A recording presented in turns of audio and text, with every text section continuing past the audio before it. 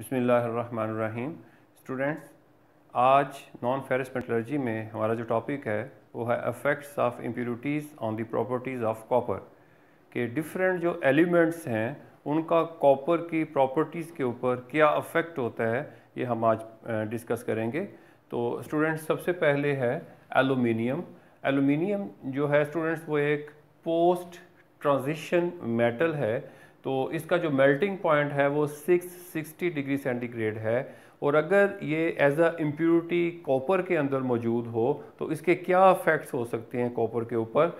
जो main effects हैं, वो ये हैं कि it increases porosity in copper अगर कॉपर के अंदर एज अ इम्प्योरिटी एलुमिनियम मौजूद है तो इसकी वजह से जब हम इसकी मेल्टिंग करेंगे तो ये उसके अंदर प्रोसिटी का काज बनेगा।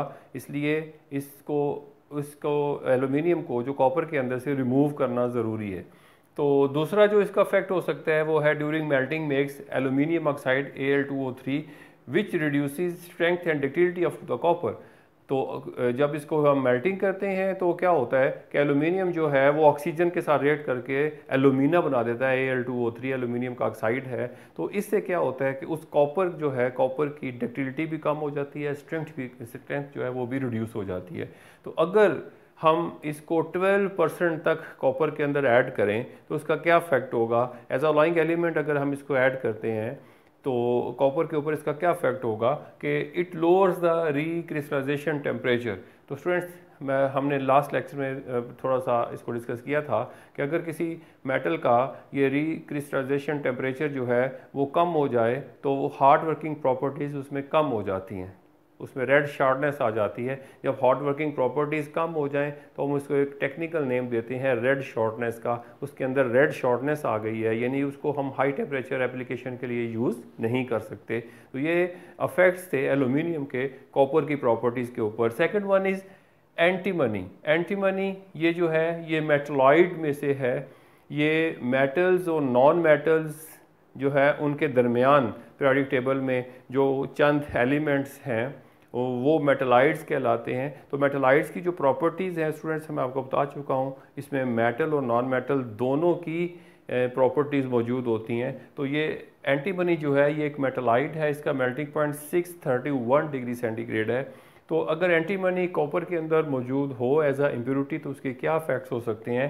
कोल्ड शार्टनेस आ जाएगी उसके अंदर। एक होता है रेड शार्टनेस एक होता है कोल्ड शार्टनेस रेड शॉर्टनेस का मतलब है हार्ड वर्किंग प्रॉपर्टीज़ कम हो जाती हैं। कोल्ड शॉर्टनेस का मतलब है कोल्ड वर्किंग प्रॉपर्टीज़ जो है वो उसमें कम हो जाती है। व्हाट इट मीन्स के रूम टेम्परेचर के ऊपर जब उसकी आप रोलिंग करेंगे, उसकी फोर्जिंग करेंगे, उस कॉपर की जिसके अंदर जो है एंटीमनी मौजूद है तो उसके अंदर क्रैक्स आ जाएँगे, यानी वो ब्रिटल होगा। तो one percent antimony produce cracks in rolling तो ये नहीं है कि बहुत ज़्यादा परसेंटेज इसकी बहुत ही मान्यूट परसेंटेज जो है, वो भी कॉपर की ऊपर जो है, वो गहरा असर करती है।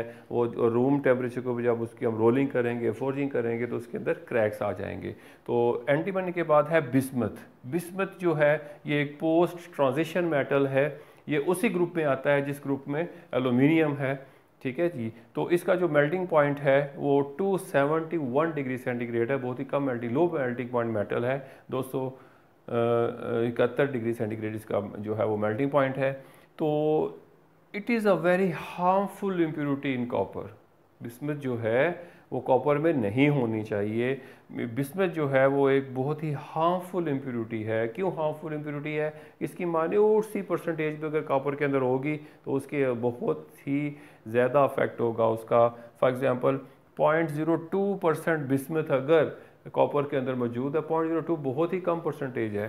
तो वो क्या करेगी? रेड शॉर्टनेस उसके रिक्रिस्टलाइजेशन टेम्परेचर को रिड्यूस कर देगी। उसके अंदर रेड शॉर्टनेस आ जाएगी कॉपर के अंदर। उसको हाई टेम्परेचर एप्लीकेशन के लिए यूज़ नहीं कर सकेंगे। Point one percent produce brittleness point one percent अगर जो है बिस्मत कॉपर के अंदर मौजूद है तो वो कॉपर ब्यूटल है, उसको हम मैकेनिकल पर्पज़ के लिए यूज़ ही नहीं कर सकते, ना उसकी रोलिंग कर सकते हैं, ना फोर्जिंग कर सकते हैं, ना ही उसकी कोई शेप बना सकते हैं। तो पॉइंट वन परसेंट बिस्मत जो है, वो भी कॉपर को ब्रिटल कर देती है वेरी हार्मफुल इम्प्योरिटी है बिस्मत जो है। Next one is arsenic arsenic हम पढ़ चुके हैं लास्ट लेक्चर में आर्सैनिक ग्रेड कॉपर तो ये एक यूज़फुल जो है, इसके अंदर एडिशन है कॉपर के अंदर। ऑर्सैनिक जो है, ये भी एक मेटलॉइड है, ठीक है? और इसका जो मेल्टिंग पॉइंट है सिक्स थर्टीन डिग्री सेंटीग्रेड है। छः सौ तेरह डिग्री सेंटीग्रेड इसका मेल्टिंग पॉइंट है। इसको जब हम कापर के अंदर ऐड करते हैं तो हमें बहुत से फ़ायदे होते हैं। वो कौन से फ़ायदे हैं? हम कुछ तो पढ़ चुके हैं। लास्ट जो है, वो उसके लेक्चर के अंदर अभी उसको रिपीट करेंगे। Improve resistance to corrosion first इसका फ़ायदा क्या होगा कि जो कॉपर जो है, इसके अंदर बेस्ट रेजिस्टेंस टू क्रोइन होती है, लेकिन कार्सैनिक के एडिशन से इस क्रोइन रेजिस्टेंस जो है, वो इंक्रीज़ हो जाती है, उसमें इजाफा हो जाता है। डिक्रीज रेड शॉर्टनेस ये रेड शार्डनेस को कम करता है आर्सैनिक मीन के हाई टेम्परेचर एप्लीकेशन जो है, वो इम्प्रूव होती हैं। इसके अंदर रेड शार्डनेस जो है वो कम हो जाती है, इसको हाई टेम्परेचर एप्लीकेशन पे यूज़ किया जा सकता है। जैसे हमने पढ़ा था, इसको बॉयलर ट्यूबिंग के लिए इस्तेमाल करते हैं। इंक्रीज टेंसाइल स्ट्रेंथ इससे इसकी टेंसाइल स्ट्रेंथ जो है और हार्डनेस जो है, ये भी इंक्रीज़ हो जाती है कॉपर की। लेकिन on the other hand it reduce electrical conductivity of copper तो ये जो कॉपर की इलेक्ट्रिकल कंडक्टिविटी है, उसको ये रिड्यूस करता है सैनिक तो ये फोर्थ जो हम पढ़ चुके हैं फिफ्थ वन जो है, वो है फास्फोरस फास्फोरस जो है, ये एक नॉन मेटल है। इसका जो मेल्टिंग पॉइंट है वो 440 डिग्री सेंटीग्रेड है स्टूडेंट्स तो ये एक नॉन मेटल है। नॉन मेटल के ग्रुप में ये फास्फोरस आता है। तो ये जो फास्फोरस है ये कॉपर के अंदर as a solid solution already मौजूद होता है। ठीक है? इसको हम डिफरेंट uh, इसके अंदर एलिमेंट्स डाल के कॉपर के अंदर रिड्यूसिंग एजेंट्स डाल के इस फास्फोरस की परसेंटेज को हम रिड्यूस करते हैं। ठीक है? तो ये जो ऑलरेडी uh, प्रेजेंट होता है उसकी परसेंटेज क्या है? पर उसकी फास्फोरस की पॉइंट ज़ीरो टू परसेंट से लेकर पॉइंट ज़ीरो सिक्स परसेंट तक कॉपर के अंदर ये सॉलिड सोल्यूशन की फॉर्म में मौजूद होता है। ये इसके इफेक्ट्स क्या होते हैं? रिड्यूसिस इलेक्ट्रिकल कंडक्टिविटी सबसे पहला इफ़ेक्ट इसका ये होता है कि कॉपर की इलेक्ट्रिकल कंडक्टिविटी को कम करता है। तो सेकंड जो है नेक्स्ट जो है वो है सल्फ़र सल्फ़र जो है, ये भी एक नॉन मेटल है, ठीक है? और इसका जो मेल्टिंग पॉइंट है 1130 डिग्री सेंटीग्रेड है। कॉपर से इसका मेल्टिंग पॉइंट ज़्यादा होता है 1130 डिग्री सेंटीग्रेड। तो स्टूडेंट्स, आपको याद होगा कि जब हमने इसकी कॉपर की रिफाइनिंग की, कॉपर की एक्सट्रैक्शन की तो उसमें हर स्टेप में हाई टेम्परेचर रोस्टिंग से ले के जो है फायर रिफाइनिंग तक हर जो स्टेप है, उसके अंदर सल्फ़र को रिमूव किया है। सल्फ़र डाइऑक्साइड की फॉर्म में सल्फ़र डाइऑक्साइड की फॉर्म में सल्फ़र रिमूव हो रही है। तो ये कॉपर के अंदर जो है, वो सल्फ़र मौजूद होती है। किस फॉर्म में? क्यूप्रस सल्फाइड की फॉर्म में कॉपर के अंदर सल्फ़र मौजूद होती है। सल्फाइड और होती है कॉपर की तो उसके अंदर सल्फ़र मौजूद होती है। पॉइंट इसका अफेक्ट क्या होता है? इसको हम क्यों रिड्यूस करते हैं? हर स्टेप में क्यों सल्फ़र को रिमूव किया जा रहा है? मैक्सिमम परसेंटेज ऑफ़ सल्फ़र उसको हम रिड्यूस उसके अंदर से जो है, वो खारिज करते हैं सल्फ़र डाइऑक्साइड की फॉर्म में। तो point one sulphur produces cracks in rolling point one percent just like bismuth point one percent bismuth जो थी वो भी क्रैक प्रोड्यूस कर रही थी। उसी तरह सल्फ़र जो है वो पॉइंट वन परसेंट सल्फ़र जो है वो, वो अगर कॉपर के अंदर मौजूद होगी तो जब हम उसकी मैकेनिकल वर्किंग करेंगे रोलिंग फोर्जिंग करेंगे तो उसके अंदर क्रैक्स आ जाएँगे। इसलिए ये भी एक हार्मफुल इम्प्योरिटी है इसको हम मिनिमाइज़ करते हैं। Next one is lead lead जो है एक पोस्ट ट्रांजिशन मेटल है ये एलुमिनियम वाले ग्रुप में आता है।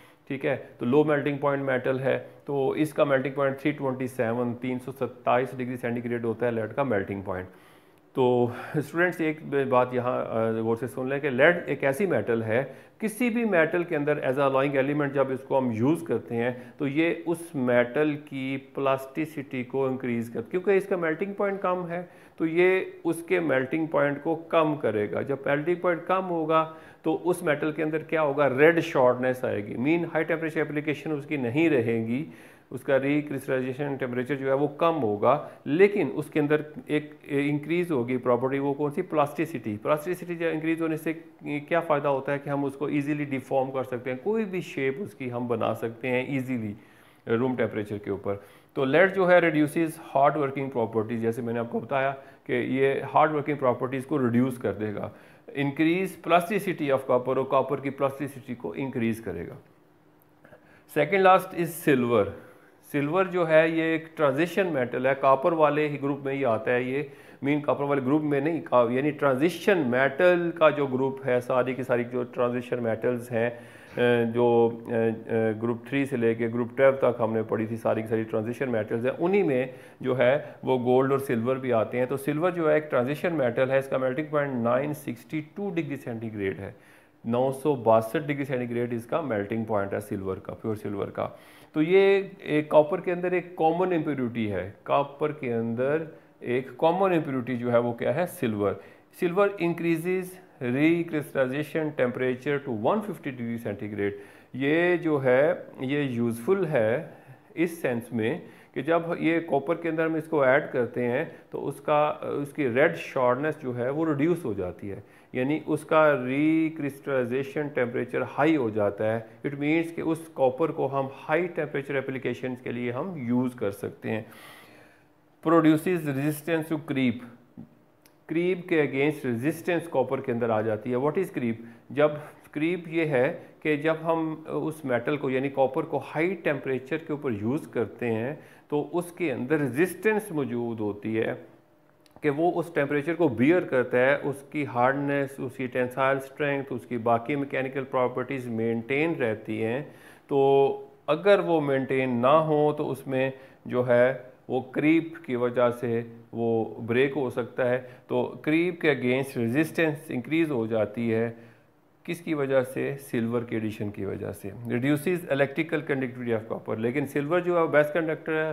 हमें पता है। लेकिन जब वो कॉपर के अंदर एज इम्प्योरिटी होगा तो उसकी इलेक्ट्रिकल कंडक्टिविटी को वो प्रोड्यूस करेगा। Last one is gold gold का जो है, ये भी एक ट्रांजिशन मेटल है। Ten sixty five one thousand and sixty five degree centigrade इसका मेल्टिंग पॉइंट है गोल्ड का। तो ये भी एक कॉमन इम्प्योरिटी है मेटल के अंदर, कौन सी मेटल के अंदर? कॉपर के अंदर।